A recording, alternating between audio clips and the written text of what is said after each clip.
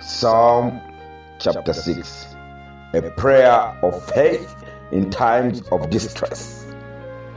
To the chief musician with stringed instruments on an eight stringed harp, a psalm of David.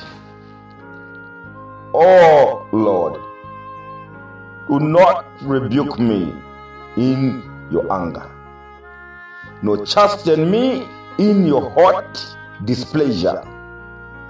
Have mercy on me, O Lord, for I am weak. O Lord, heal me, for my bones are troubled. My soul also is greatly troubled. But you, O Lord, how long?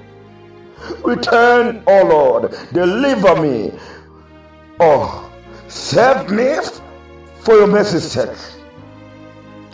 For in death there is no remembrance of you. In the grave, who shall give you thanks? I am weary with my groaning. All night, I make my bed swim.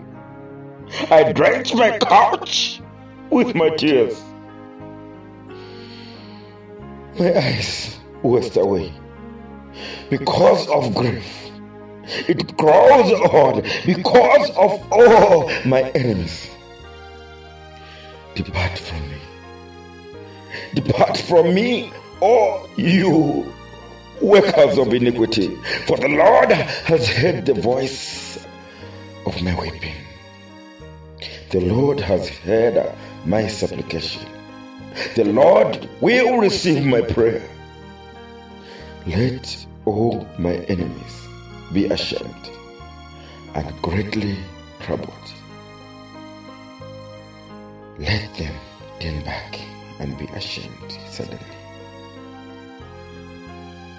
Let them turn back and be ashamed suddenly. Let them turn back and be ashamed suddenly.